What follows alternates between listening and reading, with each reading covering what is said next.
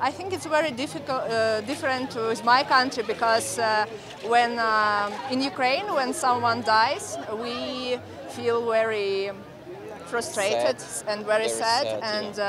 Uh, in uh, Mexico, it's completely different, and it's great. I think it's great.